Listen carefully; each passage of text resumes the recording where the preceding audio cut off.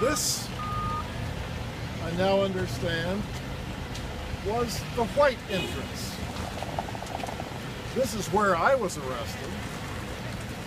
And a few years ago, a few years ago, Judy and I brought our grandson here, and I pointed out to him there's a place right there where it appears there was a parking meter.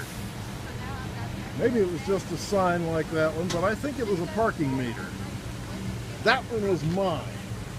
I got bounced off that one. Uh, and, you know, I, I, I also got mildly poked with a, a cattle prod, which is not fun.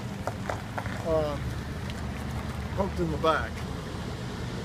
We were coming, as I was saying at the church, to protest their use of an appearance book.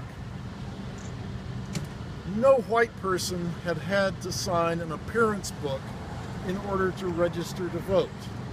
This was trotted out as a concession to black citizens trying to register.